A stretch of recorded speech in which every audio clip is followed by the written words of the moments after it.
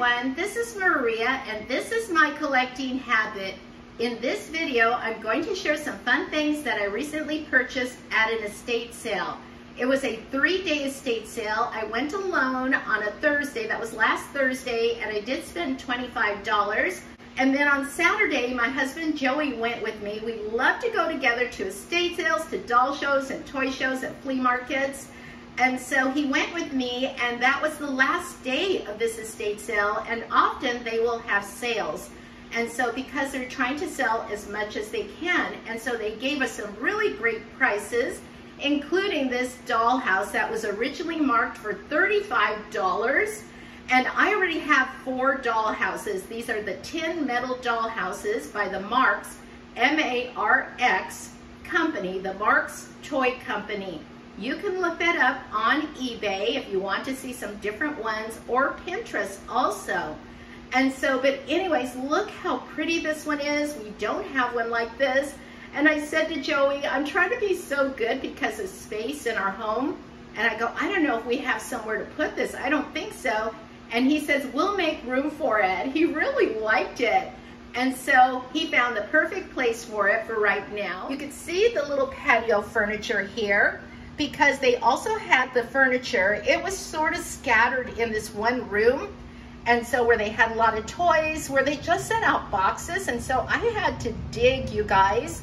And so anything that looked like this kind of furniture or something like this, which I'm glad I picked these up, you guys. I picked them up, I put them in my bag, and this. Otherwise, if someone else had bought this, or if I had bought this without thinking about it too much, I would have got, look at this just snaps on, or I'll take this one off right here. It would have been without it, but now look you guys, oh my gosh, I am so excited about that. I did not find the other awning, but you never know. I may find that somewhere else, or I could even find it on eBay. Also, I felt really lucky with this dollhouse because it has, look at this, the chimney. And often these things are missing too, you guys. You can see these uh, these little tabs here. You, you know, you put it together and then you bend it over the metal and that's how it holds together. You fold it over. And then here's another extension of the house. And now this was another piece that I also found. It's broken right there, but it has this tab and you can see this little opening here. Just put that there. Yeah, how lucky was I, you guys? I feel so lucky. And I love this little area. You know, you can put a little bicycle, park a bicycle, maybe put your roller skates there or something so cute. I love the artwork on these homes. Look at this. Just love this. Even the vent, you guys, look at the little vent. So detailed. And so let me go ahead and show you this side here. And you can even see the stonework on the patio and the flower boxes. And I was going through all those boxes, you guys. Well, it's not like there was a ton of them. There were several little small boxes that had like little doll clothes, all kinds of little stuff, little doodads. And I found all of this furniture. So I've already gone through everything and I've washed it all. So I went ahead and flipped this around so you could see the inside of the house. Look at this right here. I love everything, you guys. You can see the drapes. I see some golf clubs, and it looks like a pennant over there. Look at that. And then here is that area again where I said you could park your bicycle or something. And then here is the living room. Now there's the door. Look at that. You can see drapes there. And also on the lower level, this looks like the kitchen. How cute, right? And then here's another little room here. So cute. Probably make that into a bedroom. And then here is a bedroom right here. I believe this is the master bedroom.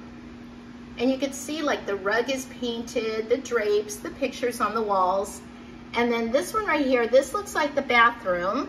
And then this is a child's room. So here's the tin barn and it is so cool. We really love this too. I mean, look at the roof, you guys. Isn't that neat? And then it's got this little piece right here. Whoops, it's coming off. See how easy this would be to lose, you guys? It's missing one. Again, hopefully I will be able to find another one. And then we have a silo. And so I think that's what they're called, right? And so it's where you store like, I think like greens and things like that. It looks like there's supposed to be another one because this one goes here. And so hopefully we'll be able to find that. And then look how cool the roof is. I just love the way it goes, how it curves. Isn't that neat? And then this right here, I'm thinking maybe, do you think they would have their horses come up here, you guys, and into the barn? I'm not sure, but it is so cool. And then we have this little area here and this little shed-like area and so maybe this goes here. I'm not sure, you guys. Just like I found all of those little pieces of furniture that went with the dollhouse, I found some things that went with the barn also. And so that's what I mean. There was a lot of smalls, you guys, that I went through. And so I have some of the little farmers here, and then there's the animals, and there's fencing, and all kinds of accessories. There's some birds here, chickens, cows, horses, and just really, really cool, you guys. I mean, this was just a lucky find. And oh my gosh, you guys, the first thing Joey spotted when we walked through the garage and we were going to enter the home, he spotted this. And so that whole area in the garage, it looked like a lot of tools and things like that. And I remember on that first day when I had to walk through there to get to the area to pay for what I was buying, was really crowded. There was a lot of men in there, and I told Joey about that because he likes to look at tools and things. And so when he went in there, he could not believe what he saw. He's really into this, you guys. When he was a kid, Joey is the type, he's always loved to build things, work with his hands. He's just really smart, you guys. And so, but anyways, this is an erector set from the 19, oh my gosh, I think he said maybe even the 40s. And so, but you can see the artwork here and it says Erector, the world's greatest toy. It comes in this really heavy, it's very heavy, you guys, almost like a toolbox type of metal. You could even see the metal things on the corner. They're all rusted. And so, yeah, you can see it's been around, you guys, all the scratches and everything. There's a sticker on here and it says patents, see inside a box. So this was Joey's lucky day. And so let's go ahead and open it. And it, look at that, look at the artwork. This is a Ferris wheel, look at that. And it says built with, and then it says number eight and a half set. I don't know what that means. The AC Gilbert Company, New Haven, and I think that says Connecticut, USA. Now part of it is ripped, and it says, hello boys. Look at the guy's little bow tie there. And it says electric lights, reversing electric engine, electric magnet, and whistle. Oh my gosh, I'm so happy for him. He was like a kid when he looked at this. And so you could see all of the parts. Look at this, looks like a motor or something. The book is even in here, you guys. Look at this. Isn't this cool? And look at all of this. Oh, look at this that goes with that. I'm sure Joey can put that back together again. But look at all of the pieces. This is Joey, my husband Joey. He loves to build things. And so he was the kid that was into, you know, electronics and all kinds of stuff. And so, look at this. Oh my gosh. And so it says erector, and then there's all kinds of things with plugs. And so this is beyond my comprehension, you guys, but it sure makes me happy because it makes my husband happy.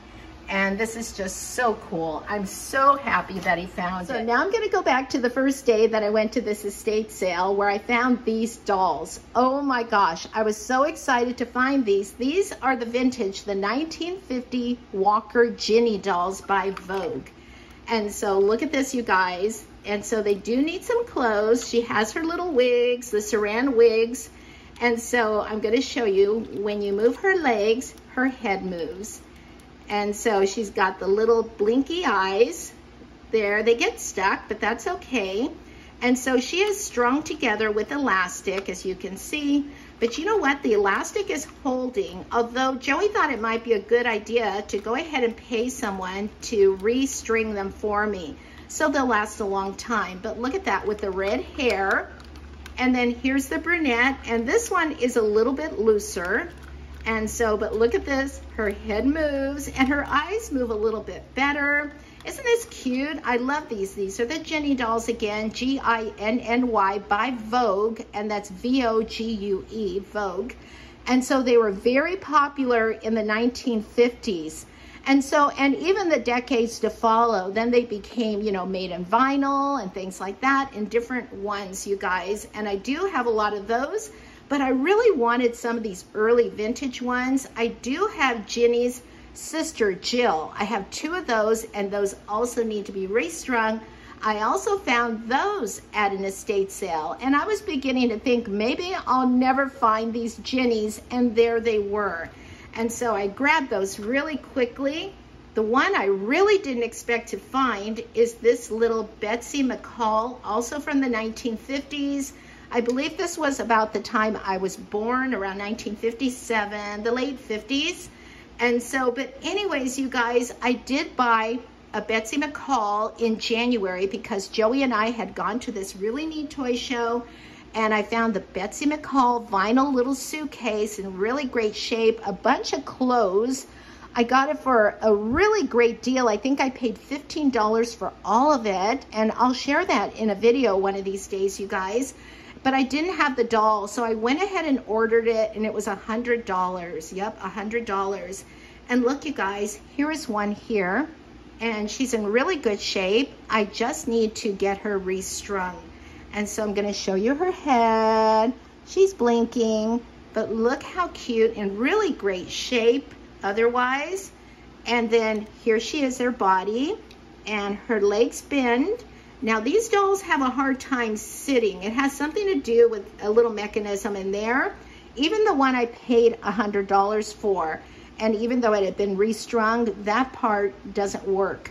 And so, but anyways, and that doesn't really matter to me because I'm going to have them standing up with a doll stand. And then here are the arms. I mean, I could not believe it. I checked to make sure these hooks were still on there.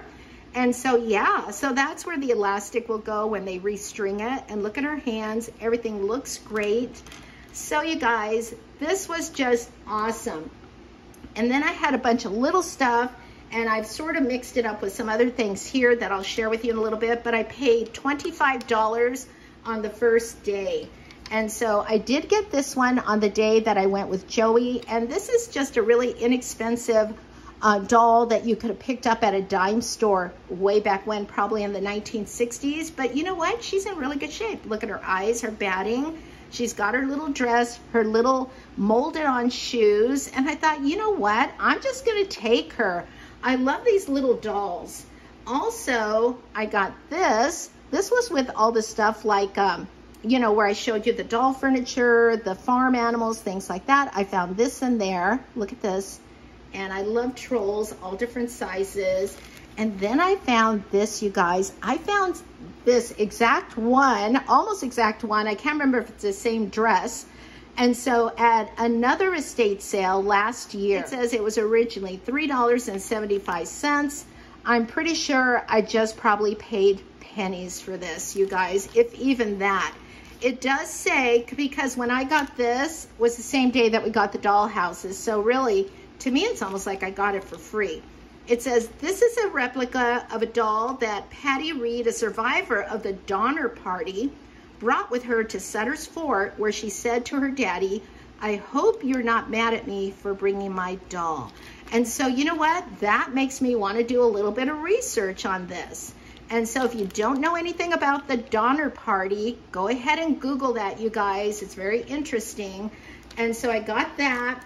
I also picked this up, you guys, because I am collecting some vintage sewing things, you guys things that have to do with sewing. I'm thinking I might end up making like a collage in a frame, but this is an older one. And so I really like this. Even the rubber band feels old. And so these are doll stands. They are older. You can tell they're aged.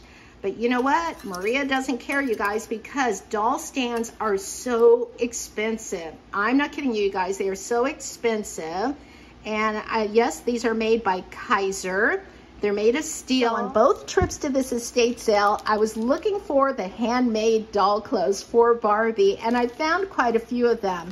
And so I went ahead and put them all in this Ziploc bag. They're really clean, you guys. They look really clean and they're in really good shape. And so I do want to mention, I believe that the person, the woman who lived in this home, and by the way, I would like to mention here that when I go to an estate sale, I go with great respect, you guys. I truly do. And so, but I do want to mention this person. It was so obvious to me that she loved to sew, she loved to knit, she loved to crochet, she loved to do all kinds of crafts. She saved everything, you guys. I mean, patterns, booklets, books, newspapers, photographs, letters. I could tell she was a very sentimental woman, you guys. And so I just really appreciate these and will take really good care of them. And so I'm so happy to find all of them. Let me just pull one out so you can see her craftsmanship. Look at this, you guys. I mean, I really appreciate people's craftsmanship because my mother could crochet. She could do a lot of that. I can sew, but I cannot do this. But look how cute this is, right? And then look at the little top. And then here's another little top. Oh, I have to show you this. Too cute, right? This one even has buttons. And I'll show you one more. Look at that. Oh my gosh, way too cute, right? So I'm gonna have a lot of fun with these. I also found some of her handmade uh, cloth doll clothes. And not as many, but there are a few here. Like this one right here is so cute. Look at this. This would look really cute on an older Barbie. So these are for the Crissy doll from the 1960s. Look at this. How cute, right? Look at how much a pattern cost back then, you guys. 75 cents. Patterns are so expensive nowadays. When I saw this, I didn't even know they made a pattern for the Sunshine family. And so I have the Sunshine family dolls and I will be sharing that. Oh my gosh, I almost forgot. I do have one more Sunshine family thing to share with you that Joey found in the garage at this estate sale. And so I'm glad I'm showing this to you. But look at this. This is unused, this pattern. And then look at this. This is also from the 60s. The Pee-wee dolls were very popular and the troll dolls. And then there are some baby dolls. This one's an older pattern also. And then this pattern is not as old. It's by Simplicity, and you could tell because it has the barcode. But I still thought it was really cute. And then look at this one here. Oh my gosh, so adorable. It says high heel figure dolls, like Revlon dolls. Oh my gosh, I do have the Revlon doll, you guys, the 20 inch. We got this little booklet. It's by Coats and Clark and it was 29 cents and it has patterns in here, you guys, and instructions to make all of these neat doll clothes. Oh my gosh, so cute. There were two of them, so I just got both of them. And you can see the patterns are in there. This one is Petite Doll Knitting Book, regular 40 cents for this little booklet. You could see the older dolls here that look like Barbie. And then this one right here, look at this, so cute. This is, it looks like Betsy McCall right here. And then look at that, so adorable. And then here's another one. And then I love the art on the back. And then this one right here, Teen Doll Knitting Book. How fun, right? Just the artwork alone. And then here's another one, 50 cents. It's saying Doll Knitting and Crocheting Magazine. And my mom used to crochet baby doll clothes for, uh, for her first granddaughter. And so, and then this one is the best dressed doll wear mini knits. And so this is really, really cute. These are little doll stands in the shape of hearts. And so this would have been for a smaller doll, kind of like this one that's kind of lightweight. And so, but anyways, I have the perfect dolls for these, so I'm really excited. And so there are six in all. And then I came across this little book. I thought it was so cute. It's called the Electric Cookbook. It says oven broiler, one dish meals, casseroles and meat dishes, cakes, pies, and other desserts. Oh my gosh, it looks like they've got an electric stove here.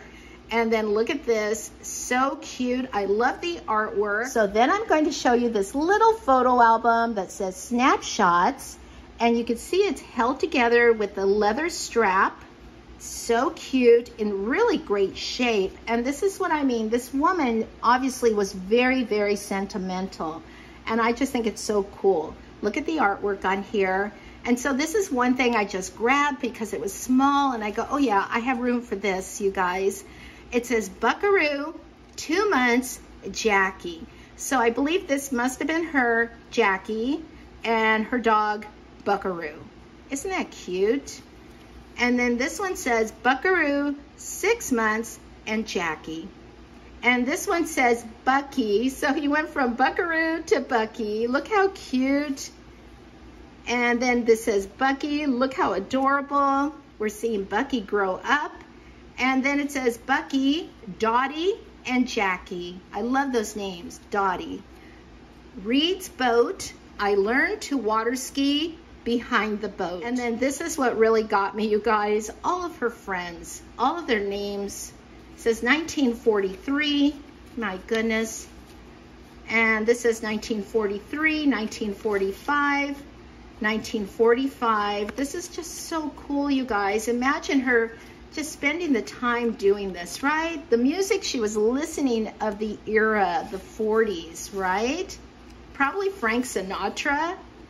Oh my gosh, this is so neat. And there's a little car here. I just love this. I love tin boxes. I'm really trying not to buy things like that though, because then I don't know where I'm going to keep them. But this one is small enough, you guys.